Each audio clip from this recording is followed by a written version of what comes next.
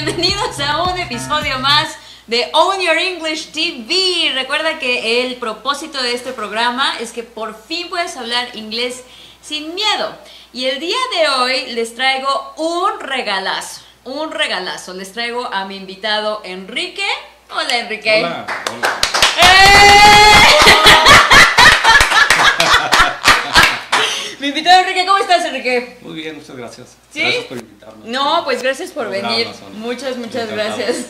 Encantado. Les traje este regalazo porque Enrique es una persona que se hizo bilingüe y se los traje para que vean cómo lo logró este cabrón, cómo lo hizo, cuál es su travesía y aparte nos trae un consejo que de verdad creo que es un muy buen consejo y vale la pena. Cuéntanos Enrique, por favor, ¿cómo empezaste tu rollo con el inglés?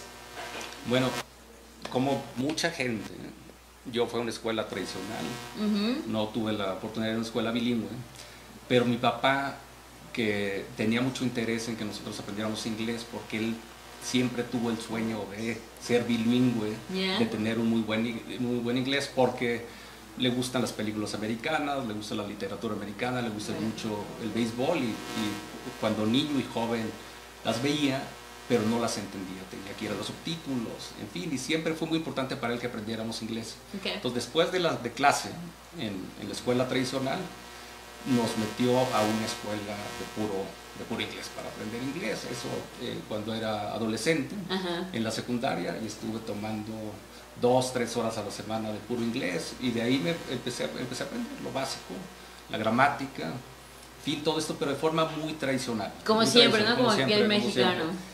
Este, ayudó mucho que me iba a veranos a Estados Unidos, vivía con familia, hablaba puro inglés, es un poquito más la cosa ya de interacción personal, que sales de los libros, sales de las metodologías para ya entrar en un ambiente más, más, más personal, haces amigos. Ya.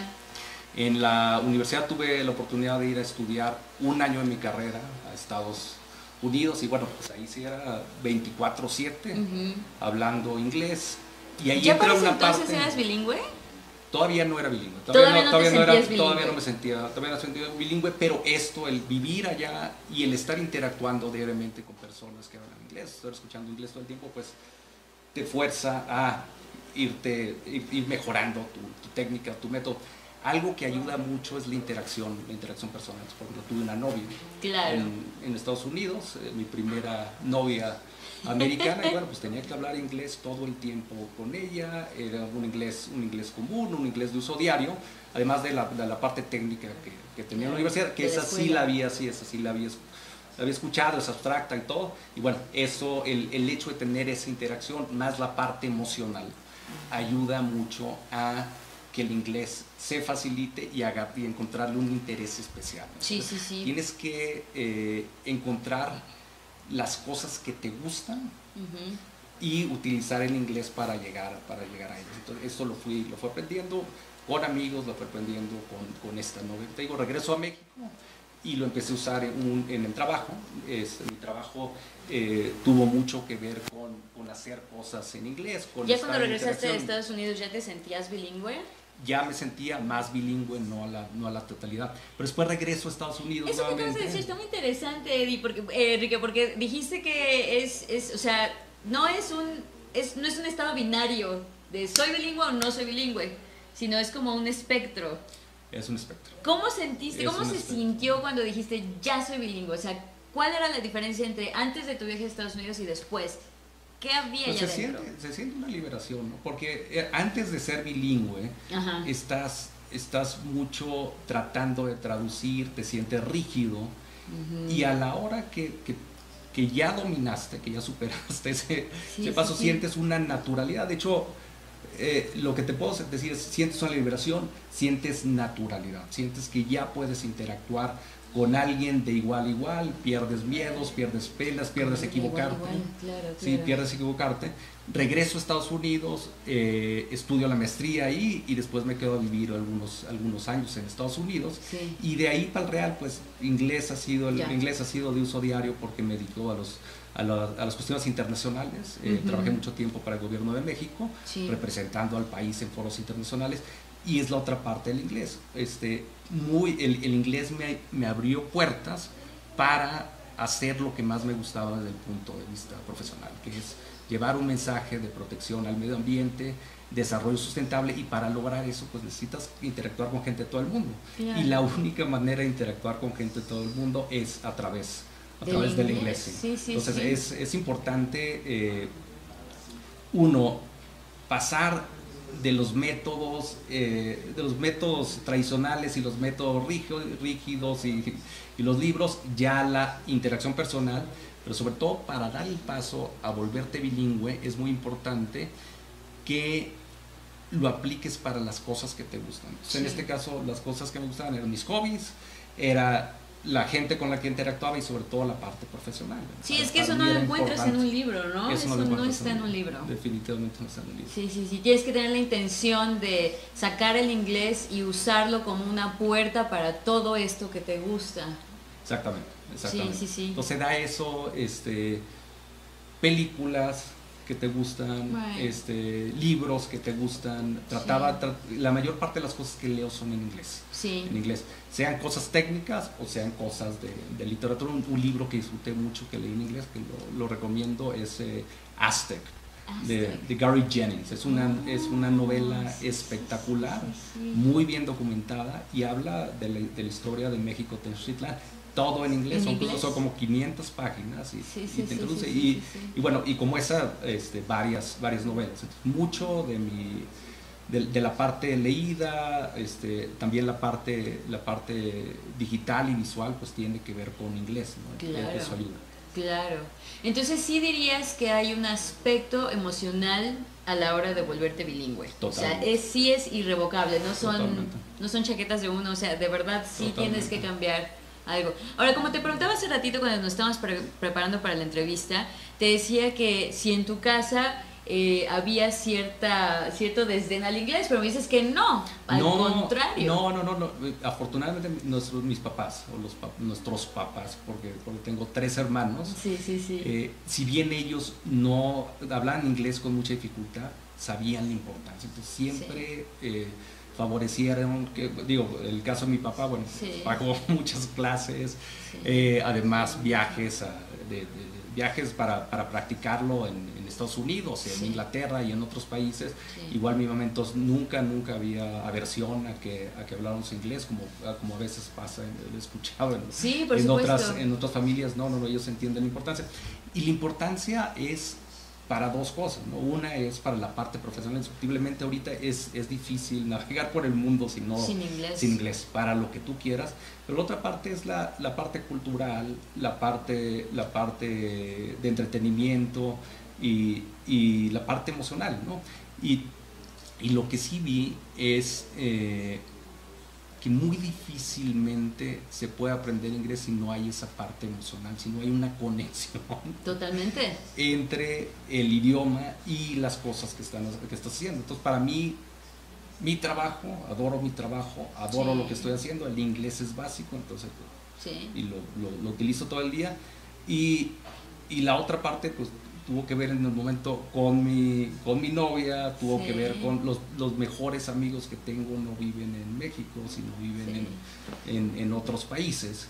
Y, y, bueno, pues la parte del inglés fue básica para poder este, aterrizar y, y, para poder cosechar y fortalecer esas relaciones. Totalmente, totalmente. Ahora, a mí lo que me interesa es que también eh, las personas que nos están viendo sepan, bueno, ok, viviste allá en Estados Unidos y te hiciste bilingüe. Ok, chingón. Y obviamente dices, bueno, estás practicando inglés todo el tiempo. Cuando regresaste a México, porque eso le pasa a cualquier persona. Yo, por ejemplo, cuando regresé de Suiza, empecé a perder el, el alemán inmediatamente porque ya no tenía con quién practicarlo. ¿Cómo lo mantuviste vivo? ¿Cómo mantuviste intacto tu inglés, güey? Porque hay gente que se lo olvida. Sí, ¿Cuántas veces hemos en oído eso? En el, en el, caso, son varias cosas, ¿no? En el caso mío, una es, eh, ya que te vuelves bilingüe, sí, el trabajo, por supuesto, pero ya que te vuelves bilingüe, lo, lo primero que pasa es piensas y sueñas en inglés. Eso está muy cabrón, piensas y sueñas, piensas y sueñas en inglés, ¿no? Sí, Entonces, sí, sí, sí, sí. A la hora que, que tú regresas a, a, México, al país en donde estás hablando español todo el tiempo, hay ciertos eh, detonantes, ciertos triggers, como, como dicen en inglés, que te llevan a que puedas fácilmente cambiar de contexto y adaptarte de, de, inmediato, en cuestión de minutos, de un contexto, de un contexto en español a un contexto en inglés. ¿Cuáles son estos detonantes? Bueno, indiscutiblemente lo profesional. Yo tengo que estar hablando con personas en distintos países del mundo todo el tiempo, tengo que estar leyendo cosas en inglés todo el tiempo, y en fin, y me gusta, como, como te decía, pues, leer libros, libros técnicos y también libros de literatura en inglés, pero hay otras cosas también que, que detonan recuerdos, volviendo al emocional. Por supuesto, emocional. el, la semana pasada, por ejemplo, estaba viendo una, una serie de Netflix que recomiendo mucho, Cobra Kai. sí, Cobra Kai y me lleva a mi niñez, no a mi niñez, a, mi, adolescencia, ¿no? adolescencia o adultez temprana, cuando vi Karate Kid y Karate Kid fue una, una película que vi varias veces y aparte me impresionó mucho, me gustó. Y ahora viendo Cobra Kai, pues cambia tu switch totalmente y vuelves, vuelves a ese tiempo y la parte, la parte emocional, la parte es tan importante que empiezas inmediatamente a pensar en inglés. Entonces toda la, semana, porque aparte me le eché, me le eché así, las dos temporadas, como 20 capítulos, me le eché así y estás pensando, pensando en inglés, pues incluso adivinar las, las frases que van a decir los actores antes de que chistoso, o sea, en inglés. Sí, sí, sí, adivinando, siempre estando pensando, ok, interesante. Está muy cabrón, está muy cabrón, güey. Ahora, bueno, yo alguna vez tomé un, curso de, de, la Universidad de Michigan que es el bilingüismo, cómo se ve el bilingüismo a nivel neuronal. Y el maestro dijo algo muy interesante que, que me recordó ahorita que nos estás contando estas cosas. Me recordó que eh, el güey dijo, ¿no? O sea, la gente que, que no es bilingüe cree que ser bilingüe significa tener eh, dos glosarios en la cabeza, ¿no? dos diccionarios en la cabeza con dos diferentes reglas gramaticales para cada idioma. Pero que realmente ser bilingüe se sentía, se siente como, en vez de dos glosarios, dos, dos eh, diccionarios, se siente más bien como two weather systems. ¿Cómo traducirías esto, Nunca lo puedo traducir en español esto. It's like you have two different weather systems taking over your head. Do you think it's like that? Sí, sí, sí, sí. Bueno, traduciendo eso, eso al español eh, es difícil de traducir porque... It is. Para los americanos la, la cuestión del clima es por eso dicen two weather systems, o sea, se levantan y lo primero que es prenden el, el noticiero y ven, ven, el canal y todo, pero pero sí es, sí es, sí es muy importante el hecho de que tengas un, un, weather, un solo weather system integrado cuando, cuando estás aprendiendo, cuando estás aprendiendo y cuando pasas a ser, a ser bilingüe, ¿no? Sí. Entonces pasaba mucho en la, cuando empecé en las, eh, muy temprano a, estudiar inglés y que estás en los métodos tradicionales, pues que tenías el diccionario inglés-español. Entonces el proceso era, escuchabas la palabra o leías la palabra y después te ibas al diccionario y la traducías al español. Entonces estás pensando todo el tiempo. En español me pasó, me pasó con mi hijo, por ejemplo, también. Este, trataba de traducir, pero conforme después una maestra muy abusada se dio cuenta que estaba haciendo eso, me dice, oye, me, me regaló un diccionario en inglés, un diccionario inglés-inglés. Inglés, lo que tienes que hacer es empezar a pensar en inglés. Todos los maestros de inglés dicen quitarte, eso, quitarte esos dos dos hemisferios, inglés-español, y que tienes que, que hay una barrera, ¿no? Exactamente. Es, la parte que te digo de liberación, ¿no? ya que rompiste esa barrera y ya no tienes que pensar. Así se siente. ¿Cuál es la palabra en español? Y la palabra en español tiene un contexto, un contexto en particular, en fin, y, y rompes esa barrera, el Weather System se convierte en un solo, en un solo sistema, y, digo. Y, y, siempre, eso si no lo dudes, porque el inglés es, es un idioma muy rico, yo todo el tiempo estoy aprendiendo, sobre todo, no es vocabulario, sino es frases y vocabulario. Y les de Cobra Kai te la recomiendo porque hay una parte, por ejemplo, en donde el, el, sensei este, Johnny Lawrence utiliza una frase en inglés. Entonces dice, dice que se pongan en dos filas y se quedan todos, todos los alumnos, dos filas. Sí, sí, que se pongan aquí en dos filas. Quiere decir líneas. Entonces, va evolucionando. el inglés que había en los 80 cuando él era adolescente, no es el mismo inglés que, tienen, que, tienen, ahora. Entonces, va evolucionando, va cambiando de frases nuevas y, eso, eso lo de todo. estás aprendiendo, estás, estás aprendiendo todo el tiempo. Entonces, todo el tiempo, este, muy, muy, muy frecuentemente, pues tengo mi diccionario en inglés y estoy aprendiendo. Sí, es lo que le digo a mis alumnos, tienes que aprender que, que relajarse y, entretenimiento no, tiene, no está peleado con aprender. O sea, tú puedes estar viendo tu, tu, serie de Netflix y una parte de ti siempre está cazando todo lo que está cambiando todo el tiempo, ¿no? Sí, sí, lo haces con intención. Así es. Ahora, yo te quiero preguntar algo, porque tú estás en, en este, en este, ¿cómo le llamo? Industria o field de cuidar el medio ambiente, entonces tienes que estar súper, súper eh, informado de lo último en research, de lo último en, en todas las industrias que abarca lo que haces. ¿Tú dirías que la persona monolingüe tiene una desventaja cuando Sí. se trata de esto? Sí, totalmente. Totalmente, totalmente.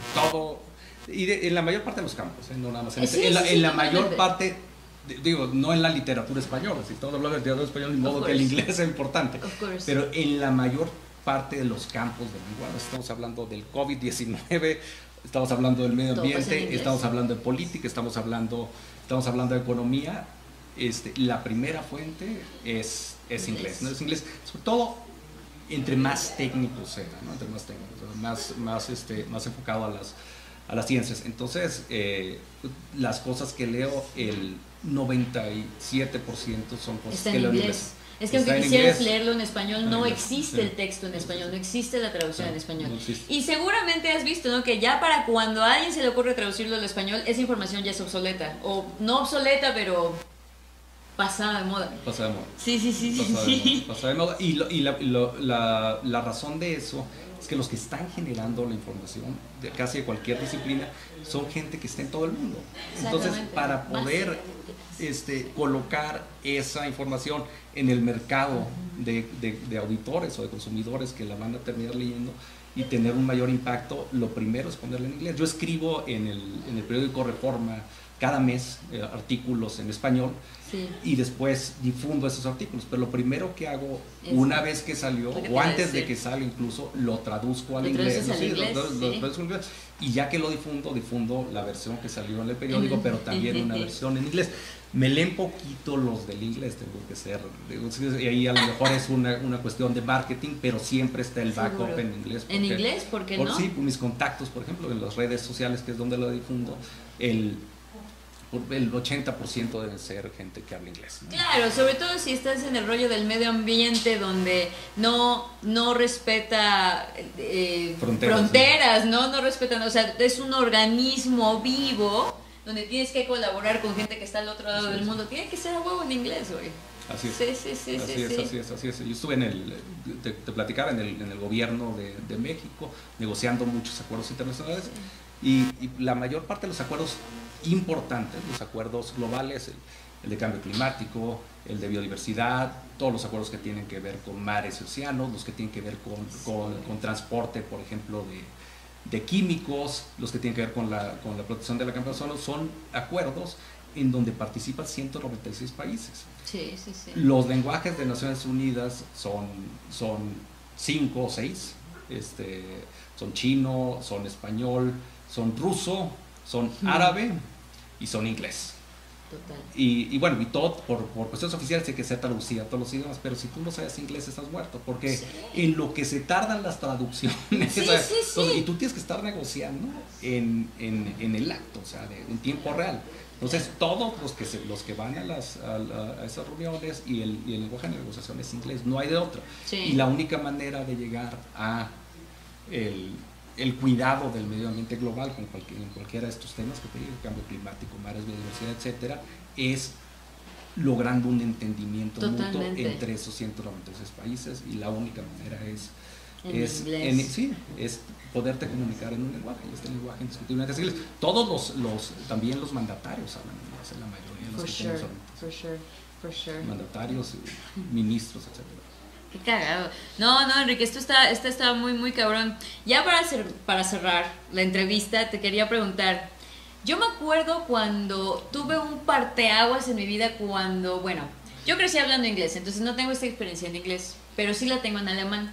Me acuerdo que ya había yo in- invertido un año de mi vida en aprender alemán, había estado echándole ganas tres horas al día en alemán, pero no me había hecho bilingüe. O sea, yo sabía que todavía no era bilingüe. Tenía mucho vocabulario, entendía todo. Y me acuerdo que un día estaba viendo una película en alemán y estaba traduciendo. Estaba traduciendo porque pues es lo que haces. Es, eso es una parte inevitable, no es parte del proceso, Y- le y podrías sobre, y decir. sobre todo el alemán. que Y sobre todo el alemán, güey, sí, el alemán estuvo muy, muy interesante esa madre.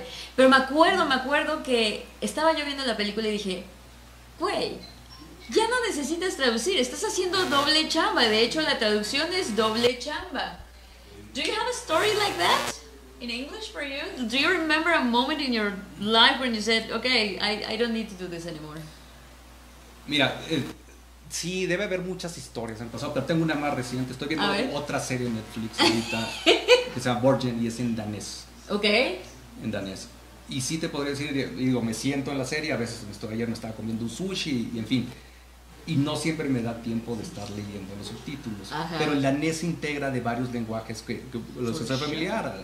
Sí, sí, sí. En fin, este, sí te puedo decir que la parte de conexión con la historia y con lo que sabes de inglés, español y otros idiomas es suficiente para no tener que estar traduciendo todo.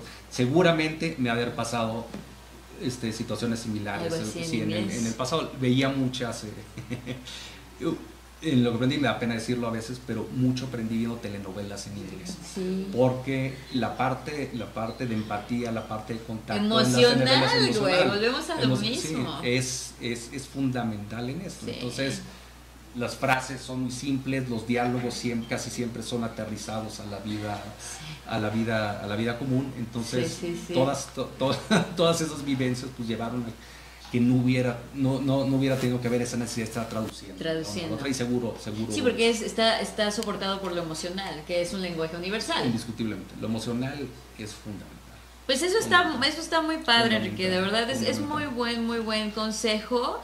Entonces, chavos, si quieren aprender, si quieren ser bilingües, tienen que empezar a, como siempre se los digo, chingada madre, tienen que empezar a sanar su relación afectiva con el inglés, porque de plano, pues no hay otra manera. No hay otra No, manera. Lo tienes que amar. Sí, sí, sí. Y tienes que amar lo que Sí, haces para Y que- tienes que amar lo que haces, Sí. para lo que lo ocupas. Así es. Muy bien, pues consíganse una chava, un chavo en inglés, practiquen así. si ya tienen, pues empiecen. doble propósito. No, sí. sí, totalmente. Busca lo que te gusta. busca Totalmente, todo lo que- totalmente. Sí, muchas gracias, mi querido productor. Siempre se me olvida. Bueno, pues muchas gracias, Enrique, por haber venido. ya nos tenemos que ir. Felicidades por tu programa. Y felicidades por tu. Por mis loqueras. Muchas gracias. No, felicidades. Muchas, Gracias muchas gracias. Enrique. Bueno, chicos, pues nos vemos la próxima semana. Eh, recuerden que con lo que usted guste cooperar, si, me- si pueden entrar a patreon.com dash own your English para que yo siga haciendo esta locura. Se los agradecería muchísimo. Eh, pueden encontrar también el podcast en Spotify, que se llama también Own Your English. Y me pueden encontrar en Instagram at LifeBuildersMX. Pues muchas gracias y recuerden, hablar inglés sin miedo es un acto político.